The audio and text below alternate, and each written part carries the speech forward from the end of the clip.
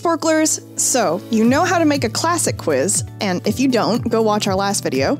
And now you want to try your hand at putting together a clickable one. These are quizzes where, instead of typing in the answers, you click them, like clicking the capital of each South American country. In fact, Sporclers have found many different creative ways to use the clickable format, but in this video, we're just going to introduce you to the basics. As with any other quiz type, you'll need to make sure you're logged in first. Once that's done, go to your quiz management dashboard again and select Create a Sporcle quiz. We're making a clickable quiz, so we thought it would be appropriate to make a quiz about mouse facts.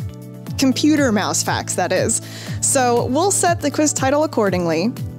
Select the category as Science, because computers are science. And of course, the quiz type is clickable. Then click Create Quiz. The first thing you'll likely notice is that the basic info tab looks very similar to the one for the classic type, except there's no place to enter the answer label. That exists solely for the text box, and we won't be needing that for this quiz. On this page, pick the length of your timer. Typically, it takes less time for players to click answers than to type them, so we'll select a shorter timer of one minute. Now, as in classic quizzes, you'll want to check the quiz description, URL, subcategories and tags, and source URL.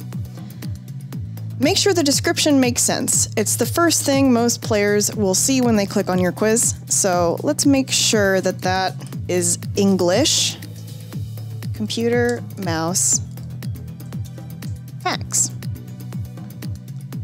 The URL can be anything you want. We're going to leave ours as is since we're in the mood for simplicity today. For our source, we mostly used this Britannica page on mouse, so we'll just copy and paste that in. There we go. Because it's cool to cite your sources. As with all Sporcle quizzes, you can edit the title and image for your quiz on any page in the quiz tools, but we'll do that later. For now, click Save Changes and move on to the Data and Style tab.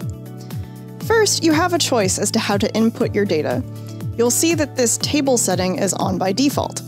If you turn it off, then your data will be more isolated by question. This doesn't affect the appearance of your actual quiz, it simply gives you another option in the creation phase. The answer text size setting dictates the size of the buttons on your quiz. Typically, the fewer answers you have, the bigger you can go here. And while computer mice may be small, just like their namesakes, they have big personalities, so we'll pick large. To actually go about entering your data, you can type everything out, or you can use the import data function. This time we already have everything we need in this spreadsheet I made, so we'll just go ahead and import that file now. And we'll put some like elevator music. Dun, dun, dun, You'll see that when you import data, that info will be inserted after any questions you already have, so we'll go ahead and delete that extra blank row. You may remember in our classic quiz, we created a bunch of alternate answers so people had more options with what they can type. However, we don't need to do that for this clickable quiz because only one answer is displayed for clicking. If you want to add any decoy answers to throw players off, you can also do that here. We'll add a few more questions or rows in the table view and type in our fake answers.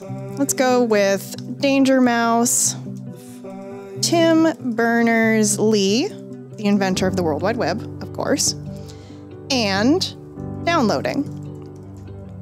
In order to signify these as incorrect answers, put EE or a double E in the extra section. Any other text you add in this extra section that isn't EE will appear in a line below your main hint. In this way, the extra column can not only be used to mark decoy answers, but can also help format your hints. Once things look good here, head over to the Advanced tab, oh, but not before clicking Save Changes. If it's not grayed out, click it. You see, Forced Order is on automatically, which we need because we're using hints. If you uncheck this setting, then your hints won't show up at the top of the quiz.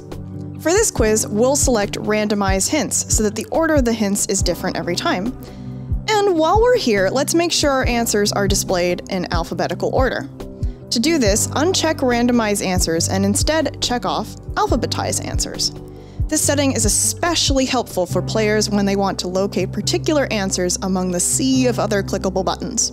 As in classic quizzes, there's a bunch of extra settings here you can use to customize your quiz as you see fit. You can have answers in multiple columns, you can enable the use of images, and you can even hide text on the quiz page.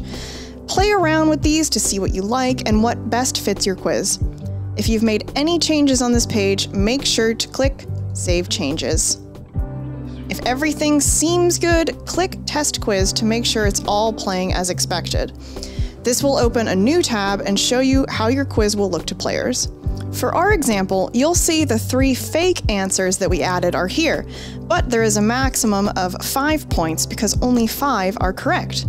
If there's anything you want to change, you can close the new tab or click on the Edit Quiz icon in the upper left to take you back to the quiz tools. Now seems like a good time to add an image for our quiz, so we'll upload a picture of the quintessential mouse that we found earlier. Make sure the elements of a mouse are perfectly centered, and click Done. Finally, click on the Contribute tab. Oh, and this page tells us that we forgot to put in our tags and subcategory. So before anything, we have to go back to the basic info tab and do that.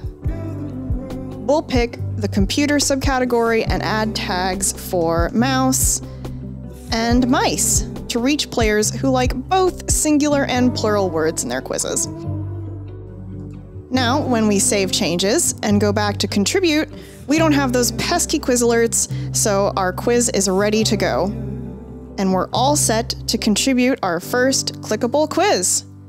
If you want to play our mouse quiz, it's in the description below, and if this video helped you create your own quiz, link it in the comments.